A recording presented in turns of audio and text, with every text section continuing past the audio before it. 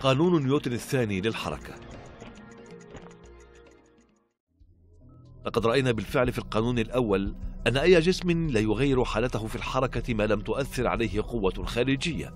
وبكلمات أخرى نستطيع أن نقول إن التغير في حركة أو عجلة جسم يعتمد على القوة المؤثرة عليه.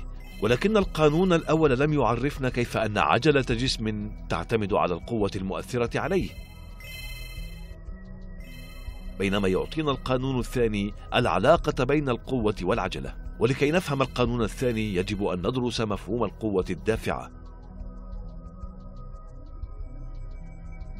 عندما تصطدم كرة كروكيت تتحرك ببطء بشخص فإنها لن تؤذيه كثيرا. ولكن إذا كانت الكرة تتحرك بسرعة كبيرة فسوف تؤذيه بشكل موجع.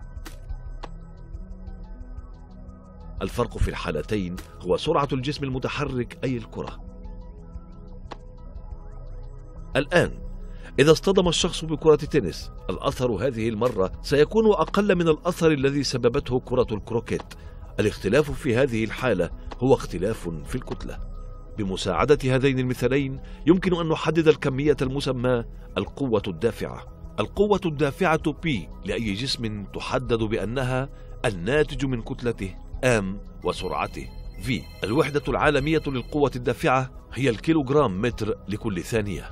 في الحالة الأولى حتى لو أن كتلة كلا الكرتين هي نفسها لكن الكرة المقذوفة ثانية لها قوة دافعة أكبر من الأولى بسبب سرعتها الأكبر. وبالمثل في الحالة الثانية حتى لو أن سرعة كلا الكرتين هي نفسها فإن كرة الكروكيت لها كتلة أكبر وقوة دفع أكبر من كرة التنس. والآن بمساعدة القوة الدافعة دعنا نفهم القانون الثاني للحركة. ينص قانون نيوتن الثاني للحركة على أن معدل التغيير للقوة الدافعة في جسم يتناسب مع القوة الغير متوازنة المؤثرة عليه ويأخذ اتجاه القوة المؤثرة. باختصار يمكننا القول إن معدل تغير القوة الدافعة يتناسب عكسيا مع القوة غير المتوازنة. افترض أن جسما له كتلة M. يتحرك على طول خط مستقيم. سرعته الابتدائية U. افترض أن قوة ثابتة. F تؤثر على الجسم ويتم تعجيله بشكل غير منتظم بعد زمن T. فتكون سرعته النهائية V وبذلك تكون القوة الدافعة الابتدائية لجسم P1 P1 يساوي M في U. القوة الدافعة النهائية لجسم P2 P2 تساوي M في V.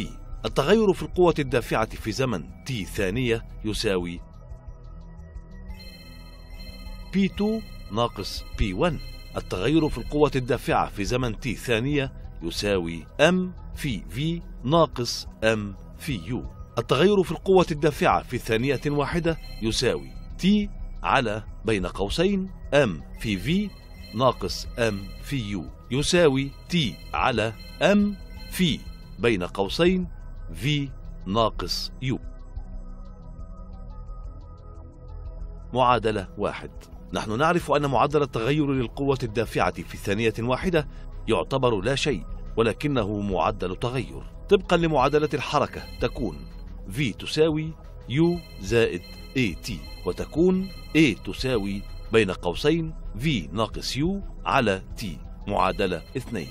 وبالتعويض بالمعادلة الثانية في المعادلة الأولى نجد أن التغير في القوة الدافعة للجسم في زمن T يساوي M في A. معادلة ثلاثة. وبالفعل نكون قد رأينا أن معدل التغير في القوة الدافعة متناسبا مع القوة غير المتوازنة. ومن المعادلة الثالثة نجد أن MA تتناسب مع القوة الغير متوازنة والتي نرمز لها بالرمز F. فتكون F تتناسب مع MA ويمكن كتابة ذلك كالتالي. F تساوي K في M في A. معادلة أربعة حيث K هو ثابت التناسب. الآن نفترض أن وحدة قوة تؤثر على وحدة كتلة جسم وبذلك تنتج وحدة عجلة وبذلك يمكننا إيجاد قيمة ثابت التناسب لكي يكون واحدا. وبالتعويض عن K يساوي واحد في المعادلة الرابعة نجد أن F تساوي M في A. هذه هي الصيغة الرياضية لقانون نيوتن الثاني للحركة